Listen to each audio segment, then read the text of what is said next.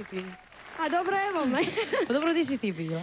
A di, di se? A Što mi se ne javljaš u zadnje. Možeš, ovo ti je Robert, moj kolega. B- Bog. Bog. Samo sam ti htio reći da imaš predivne oči. Da. A i ti, Ninica. Čuj, hvala ti puno. A i ti, aha, pardon, nema nikoga više. Danijela, toliko koncerata iza tebe, toliko turneja. E, prije par godina lider grupe Magazin. Nakon toga plasmanom ob, oba dva puta četvrto mjesto. jedan put sa grupom Magazin, znači Nostalgija, drugi put e, Neka mi ne svane. Tako je.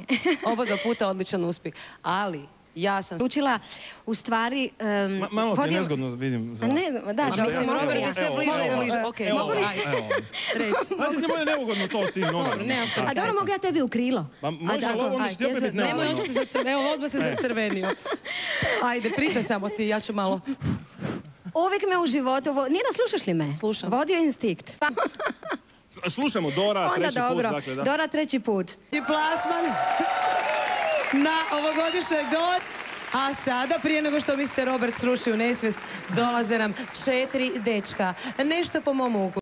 Čujte, Čuj, reci mi, odaj mi tu tajnu. ovakav kompliment u životu nisam dobila. Hvala vam na veliku i važnu stvar. Osmi veljače, HNK, Josipa Lisac, Simfonijski orkestar, još jedan